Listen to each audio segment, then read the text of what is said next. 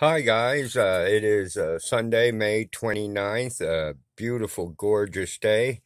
Uh, just had breakfast with my uh, son and uh, now I am in the van taking it easy. Uh, I don't think I've ever really done a video inside the van, so I thought I would just do a little update video.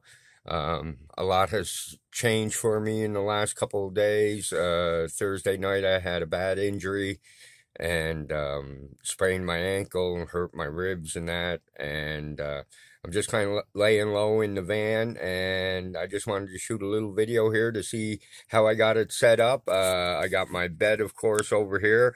I built the bed with the couch. It uh, transforms into a couch, and that's worked out really well. Uh, the bed is super, super comfortable. I hate to get out of it in the morning, actually. Uh, it is so quiet and nice here. I, am staying at my work where I work. Um, but uh, I would love to be out working on the van. Uh, that's what I would love to be doing.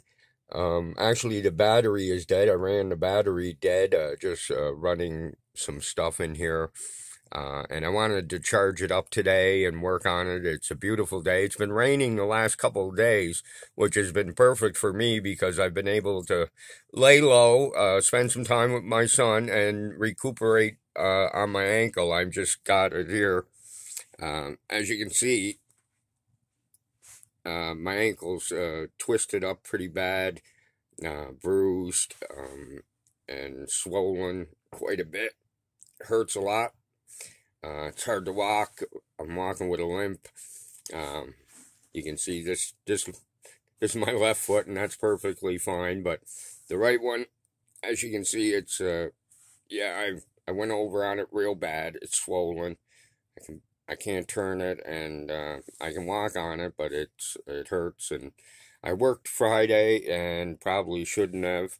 I heard it Thursday night and uh, but I've been treating it with ice and everything.